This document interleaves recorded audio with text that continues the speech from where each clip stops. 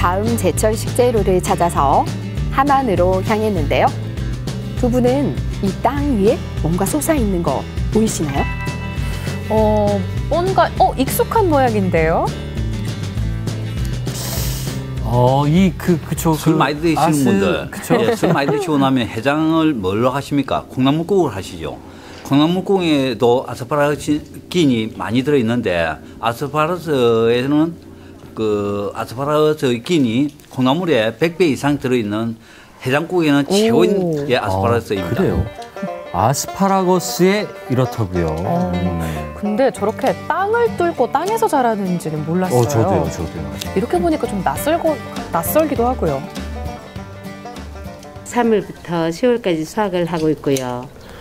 특히 3월에 수확되는 거는 겨울에 동면을 해가지고 첫 수확을 하기 때문에 아무래도 단맛이 더 난다고 보죠.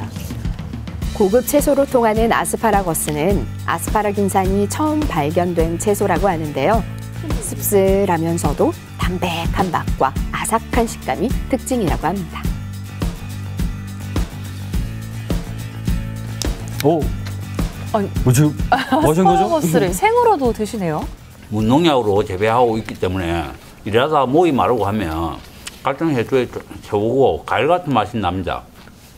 그 저희들은 일하면서도 이렇게 하나씩 갈등이 나오고 하면 하나씩 먹고 있습니다. 수확한 아스파라거스는 이렇게 수분이 날아가지 않게 밀봉을 해주는데요. 농장에서 식탁으로 가기까지 싱싱함을 유지시키기 위해 꼭 숙성을 해야 한다고 합니다. 수확을 하고 나면 바로 선별로 하고 하면 저장성이 없기 때문에 예, 수확하고 한 24시간 정도 한 영상 2도 정도에서 2, 3도에서 24시간 정도 숙성을 시켜야 보관이 오래됩니다. 채소의 왕이라고 불리는 아스파라거스. 수년 전까지만 해도 생소했지만 지금은 쉽게 찾을 수 있는 채소가 됐는데요.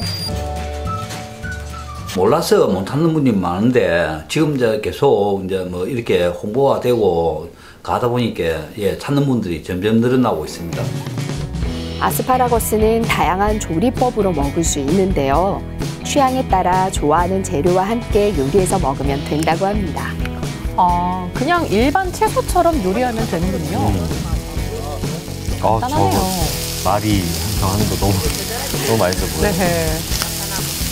생으로 먹었을 때는 아무래도 약간 단맛은 나는데 풋내가 약간 나는데 음식으로 했을 때는 풋내도 잡아주고 단맛이 더 올라오고 식감도 더 맛있죠 아무래도 그래서 음식으로 생으로 먹는 사람 별로 없고 아무래도 약간 익혀서 그렇게 먹죠.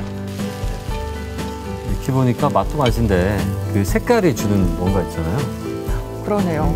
아스파라거스가 더해지니까 더 먹음직스러워 보여요. 네, 아스파라거스 요리 절대 어렵지 않습니다. 집에서 간단히 할 수 있는 요리에 아스파라거스만 더하면 됩니다. 여기 나와 있는 음식 말고도 아스파라거스 넣어갖고 꼬지도 산적도 할 수 있고 그다음에 카레도 오이나 호박 대신에 넣어가 할 수 있고 무궁무진 많아요 음식 하는 게. 근데 사람들이 복분적으로 해 먹는 거는 보통 스테이크 옆에 먹고 하는 것뿐이지 할 수 있는 거는 많아요. 근데 식감도 진짜 생각보다 물론 쿵쿵하지 않고 아삭아삭하니 진짜 맛있어요. 그러니까요. 그 고기 먹을 때 뭐 두말할 거 없고요. 아이고 계속 오늘 잘 드셔가지고 저도 힘드네요. 아유, 배가 고파지는데요.